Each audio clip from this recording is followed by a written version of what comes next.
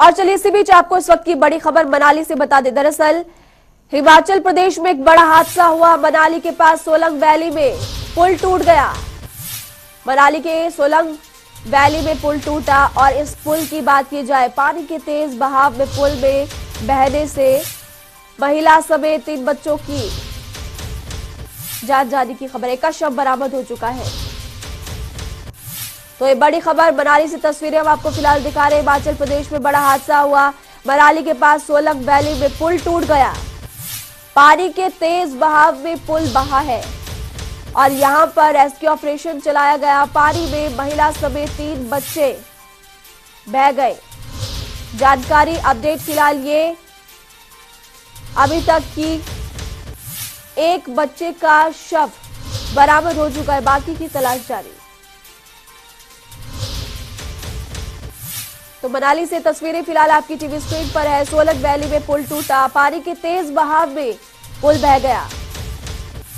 और यहाँ पर महिला समेत तीन लोग पानी में बह गए। मनाली से हमारे संवाददाता कमलेश मोदी इस खबर पर विस्तार से जानकारी देंगे। आ, इस खबर को लेकर कोई नया अपडेट सामने आया? देखिए महिमा ये जो घटना ये कल दोपहर करीब तीन बजे की घटना है।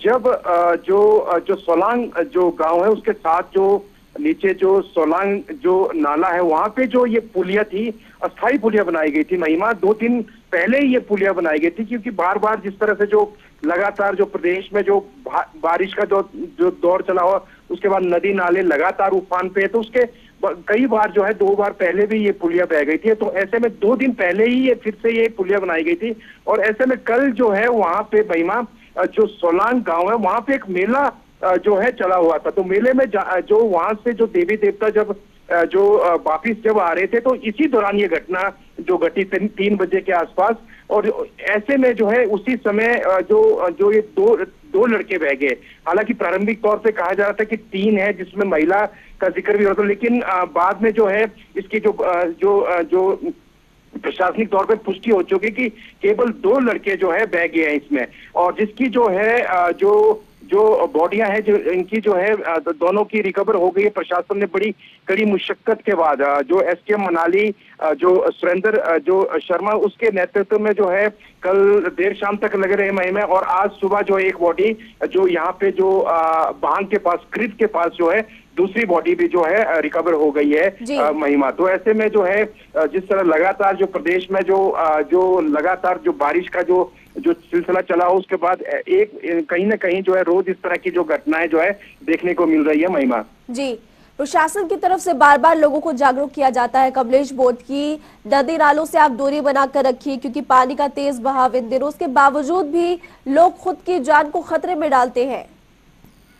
निश्चित तौर पे देखिए महिमा जो है लगातार प्रशासन द्वारा यही कहा जा रहा है कि जिस तरह से लगातार जो बारिश हो रही है जो जो ऑरेंज अलर्ट चल रहा था पिछले दो दिन से तो ऐसे में प्रशासन लगातार जो है लोगों को सतर्क कर रहा है। लेकिन बावजूद इसके जो है इस तरह की घटनाएँ सामने आ रही है। लेकिन जो ये घटना है महिमा इसमें कहीं ना कहीं मैं आपको बता दूँ कि जो जो जो ये जो सोलांग में जो घटना हुई है उसमें जो है जो जो ये अस्थायी पुलिया जो बनाई गई थी इसके साथ ही एक और पुलिया पुल का जो निर्माण भी चल रहा है महिमा लेकिन जो आ, जो आ, जो वहाँ का जो ठेकेदार है कहा जा रहा है कि लेट लग चुकी के कारण जो पुल का जो जो नया जो पुल बनना है वहाँ पे उसका काम बहुत ही धीमी गति से चल रहा है। मैं आपको बता दूँ इसका शिलान्यास पाँच साल पहले हाँ। आ, किया गया था और और करोड़ों के लागत से इस पुल में बनना था लेकिन कहीं ना कहीं ठेकेदार व सरकार की जो अनदेखी है जो ढीला रवैया है उसके कारण जो है काम जो है, पुल पुल का काम जो है, बिल्कुल सुस्त जो रफ्तार से चल रहा है महिमा। जी, इस खबर पर आप नज़र बनाकर रखेगा आगे भी आपसे अपडेट लेंगे। शुक्रिया इस तमाम जानकारी के लिए। तो फ़िलहाल देखिए तस्वीरें और ये बड़ी खबर है। अपडेट ये है कि दो बच्चे भी पानी में बह गए। एक का शव बरामद हो चुका है।